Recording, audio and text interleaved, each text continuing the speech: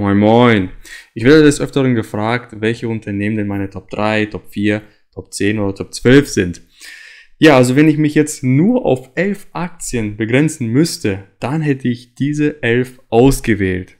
Ich will ja mal in der Reihenfolge mal durchgehen. Also McDonald's, ja, Fast Food und ähm, der größte Immobilienbesitzer auf der ganzen Welt, kennt jeder. Ein sehr solides Unternehmen, gehört meiner Meinung nach in jedes Basisdepot. Dann Henkel, ein deutsches Unternehmen, äh, Familienunternehmen, stellt Kleber und so weiter her, also auch sehr solide und die denken nicht kurzfristig, das ist etwas schwierig bei Henkel, aber die planen sehr, sehr langfristig und das gefällt mir bei Henkel besonders gut und ähm, das Unternehmen wird auch sehr gut geführt. Dann äh, kommen wir zum nächsten, das ist PepsiCo. PepsiCo ist nicht der Konkurrent von Coca-Cola. Nein, die stellen auch derzeit äh, viel um und haben auch sehr viel äh, Knabberzeug. Ich glaube mittlerweile über 50 Prozent, also ich glaube 54, 55 Prozent des Umsatzes macht Pepsi wirklich mit äh, Knabberzeug, also mit Chips, also zum Beispiel von Lays oder sowas. Damit machen sie mittlerweile ihr Umsatz. Also auch für mich auf jeden Fall ein, äh, ein, ein Wert, der in ein Basisdepot gehört. So, dann äh, ein Technologiewert, Microsoft, ähm, auch einer der größten Unternehmen der Welt, ähm, kennt auch jeder, Word, Excel, äh, Cloud jetzt ganz, ganz groß dabei. Ja, also auf jeden Fall auch ein Wert, der für mich auf jeden Fall in mein Depot gehört. Dann äh, Procter Gamble, Konsumgüter, kennt auch jeder wahrscheinlich, äh, zumindest ja auch Kinder hat mit äh, Pampers und sowas, ein ganz großer Hersteller, äh, viele andere Sachen dabei, ist derzeit auch wieder gut im Kommen, war vor noch ein, zwei Jahren etwas stagniert mit den Umsätzen, Gewinne wollten nicht mehr so, wie die, wie die wollten, also es gab kein großes Wachstum, auch die äh, Fantasie zum Wachstum war einfach nicht da, deswegen sind die Kurse extrem eingebrochen.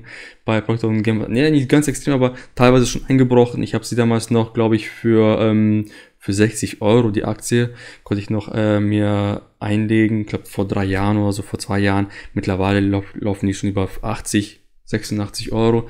Und äh, letztens auch gute Quartalszahlen gebracht, Wachstum ist wieder da. Und äh, ja, das geht wieder voran. Und einer der größten Konsumhersteller. Procter Gamble. So, dann 3M, kennt wahrscheinlich auch äh, der eine oder andere Post-its gibt es, äh, habe jetzt keine liegen, ähm, kennt wahrscheinlich der eine oder andere Post-its von dem, aber sehr, sehr großer Industrieunternehmen, äh, haben auch sehr, sehr viel Forschung, was sie machen. Also sie haben viele ähm, Forschungsleute bei sich ähm, im, im Team. Also ein sehr innovatives Unternehmen, 3M. Auf jeden Fall für Industrie.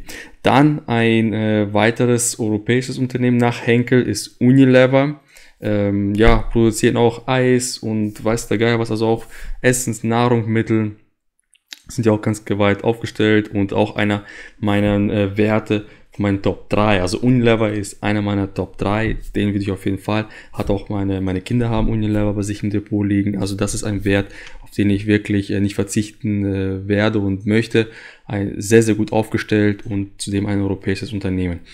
Dann äh, kommen wir zum äh, letzten europäischen Unternehmen. Das ist äh, Shell aus Großbritannien. Ja, ähm, wenn wahrscheinlich andere sagen, ja, Öl, hm, hm, hm, weiß ich nicht mehr, zukunftsorientiert. Ja, die haben, glaube ich, mittlerweile nur noch 50% auf Öl. Der Rest ist auch schon erneuerbare Energien. Gas spezialisieren sie sich und äh, die gehen auch in Richtung erneuerbare Energien. Haben auch eine sehr gute Dividendenrendite. Ich glaube, derzeit zwischen 6 bis 7%, sowas in den Dreh. Und äh, deswegen einfach für Einkommens Investoren ist äh, Shell einfach für mich, äh, ja, gehört einfach dazu und deswegen ist sie auch in meinen Top 11 drin. Dann äh, haben wir Johnson Johnson, Pharmaunternehmen, äh, auch einfach um die Branche abzudenken, abzudecken, habe ich Johnson Johnson mit reingenommen, äh, haben wir auch sehr viele Produkte im Gebrauch, zum Beispiel BB für die, für die, für die Haut oder für die, äh, für die Babys. Also auch viele Sachen, äh, was alltäglich gebraucht wird bei Johnson Johnson und deswegen ein äh, Unternehmen, was riesig, riesig ist, ist auf jeden Fall auch in meinen Top 11. Dann haben wir einen Chinesen, Tencent, äh, auch jetzt mit der Spielebranche äh, sehr weit. Tencent äh, auch allgemein einfach mal auch äh, den Emerging Markets mitzunehmen, finde ich Tencent äh, neben Alibaba die Top-Werte aus China und ich habe mich einfach für Tencent entschieden. Ich habe auch Tencent in meinem Depot ähm, viel, viel höher gewichtet als Alibaba, weil ich von Tencent einfach mehr überzeugt bin. Zudem zahlen sie auch eine ganz kleine Dividende, aber die ist kaum äh, zu berücksichtigen, ich glaube 0,3% oder sowas. Ja, ein anderer äh, Konkurrent von Tencent wäre zum Beispiel Activision Blizzard, ähm, aber ich habe mir einfach für Tencent entschieden, weil es aus China und ein sehr interessantes Unternehmen, was auch sehr viel Potenzial nach oben noch hat, wie ich finde.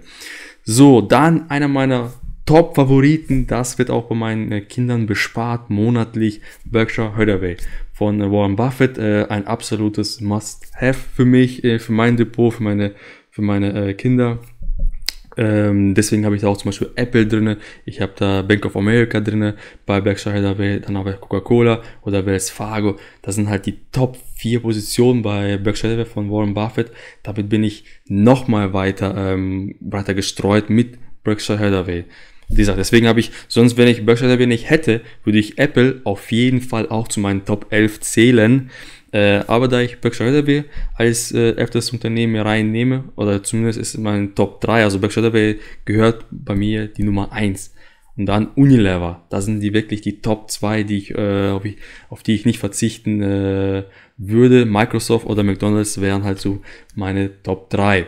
Ja, also wie gesagt, also Berkshire Hathaway ist, äh, gehört auch dazu, ist kein Dividendenzahler, der einzige von diesen elf äh, man kann sagen, Tencent, die auch nicht wirklich mit 0,3% Dividendenrendite, kann man sagen, ja, ist äh, gewollt, aber nicht gekonnt, äh, so quasi. Also eher ein Wachstumswert Tencent, dennoch ein absolutes äh, Top-Favorit bei mir und gehört meiner Meinung nach in mein Depot auf jeden Fall. So, also, ähm, wir haben jetzt elf Unternehmen, die ich ähm, ja als Top 11 bezeichne von mir. Diese elf würde ich auf jeden Fall nehmen oder mich begrenzen, wenn ich mich entscheiden müsste, welche elf ich ins Depot legen würde. So, McDonald's, Henkel, PepsiCo, Microsoft, Procter Gamble, 3M, Unilever, Shell, Johnson Johnson, Tencent und absolut Nummer eins bei mir, Berkshire Hathaway.